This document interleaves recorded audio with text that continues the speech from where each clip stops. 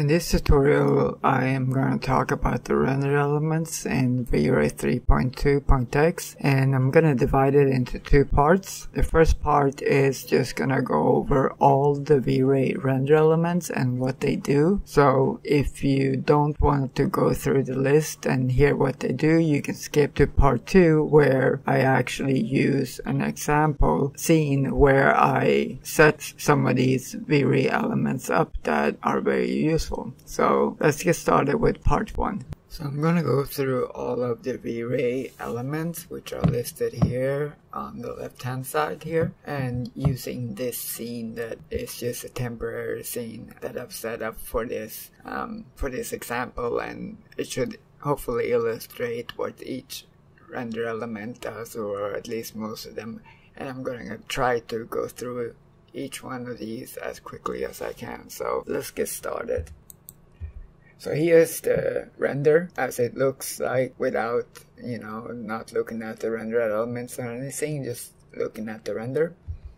This is the alpha, so the V-Ray alpha just shows the alpha of, the, of your scene, so black parts are transparent or looking out into nothingness. Atmosphere shows what's in your environment dialog window only, such as fog and fire, and this is a fire example actually, but size is too high, so but it shows the, the element anyway. So um, and then we have background which I just have some clouds in the background. The V-Ray bump normals shows the normals of your bump maps and non-bump surfaces. The caustics element shows the caustics only. So this is the beauty renderer and this is the caustics pass. The V-Ray diffuse filter shows your diffuse textures only without any lighting as if they were self-illuminated. The V-Ray DR bucket stands for distributed rendering bucket and shows which buckets are rendering on which machines when you're rendering a still on several machines. So this is an example image I found on the net showing that. V-Ray extra tex allows you to replace all or some objects with another texture. In this case, I used a fall off texture. So the surface that are pointing to the camera are dark and the surfaces that are pointing away from the camera are white, are brighter. The global illumination pass shows only the global illumination lighting without any of the direct lights. The V-Ray luminance element shows the illumination values in the scene. V-Ray lighting shows lighting only without the global illumination.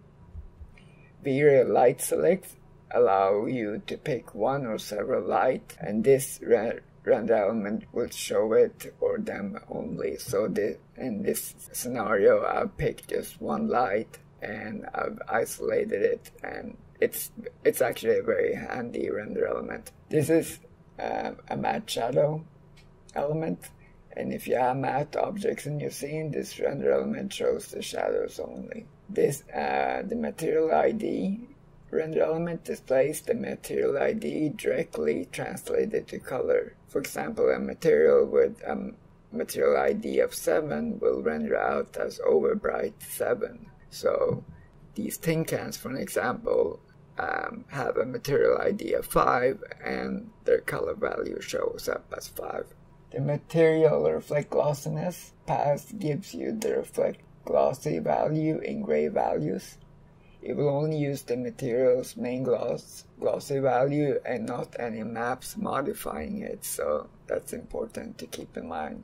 The highlight glossiness shows the highlights, so it's basically the same thing in my scene. The material reflect um, index of reflect, uh, reflection shows my materials as represented as absolute values. So if one of my materials index of refraction is 1.7, the color will be white times 1.7. For example, the sphere has an index refraction of 1.6, so it shows up as 1.6 when I sample the color. The material refract glossiness uh, is the same as the reflect glossiness but for refraction materials.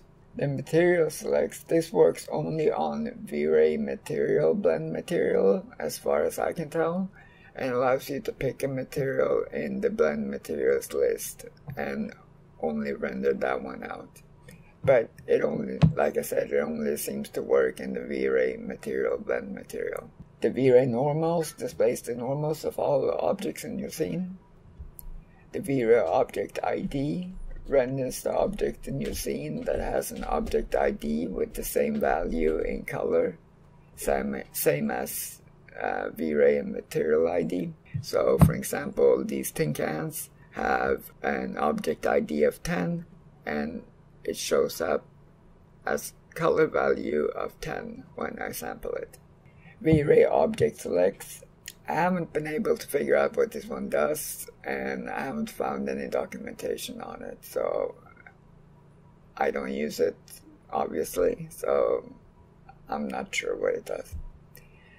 The V-Ray option RE which then stands for render element uh, from the manual, it says this is a special render element that controls some internal settings. It does not generate any actual data.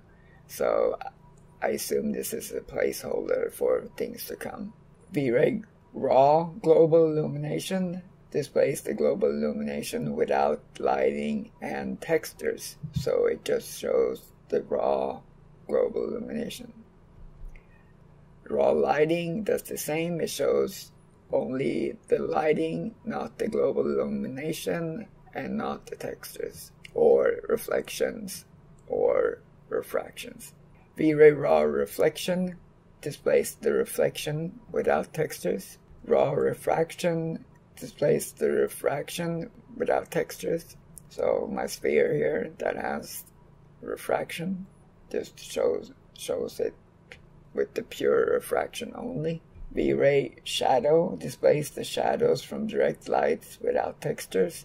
So I have gradients of shadows in this scene, but a good way of looking at it is under the sphere, you can see that it's basically like the inverse of my shadow. So I can see the inverse values of my shadows and what's happening in my shadows. The V-Ray total lighting displays all the lighting without textures. V-Ray reflection displays the reflections in your scene. The V-Ray reflection filter can be considered as an alpha for the reflections. V-Ray refraction displays the refractions in your scene the V-ray refraction filter um, is again can be considered as an alpha for your refractions if you have a map. V-ray render ID uh, from the manual, manual it says the node render ID of the object that contributes most to the pixel value. I'm not sure what this is useful for and I haven't used it myself in any projects or any personal projects or any production. V-Ray sample rate. The brighter the pixel in this image, the more samples were required to render that pixel. So this render element is great for optimizing your scene. You can see where all the brighter the pixel is where it's concentrating most of its samples. So you can see here it has to process a lot of the samples in these areas. V-Ray sampler info provides a variety of, information about the pixels in your scene like position, normal, bump normal, and more. And this can be used as a world position pass in comp. V-Ray self-illumination shows the self illuminated parts of the image and I don't have any self-illuminated objects so it just shows up as black. The ray Shadows shows you the diffuse parts in what your shadows are in your full render. So this is like the raw shadows but this time we get the textures in those areas. I don't have a good texture under here so but if I had a good texture, you'd see my texture here in the shadow areas here. V-Ray Specular displays specular highlights in your image, which I have none in my setup. The V-Ray subsurface scattering plays the subsurface scattering only. So these two objects and these have subsurface scattering on them.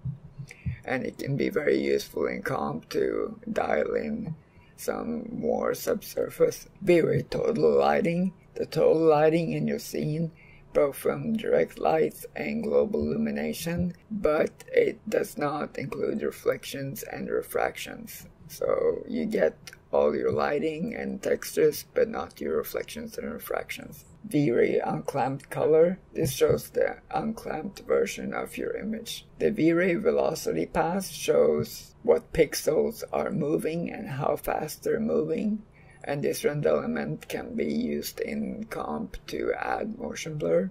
So this sphere is actually moving and if I went into post I could use a motion blur plugin to add motion blur to the sphere. V-Ray wire color displays all your objects and you're seeing using the wire wire color and it can be useful for generally lots of math at the same time and then sampling the uh, coloring post.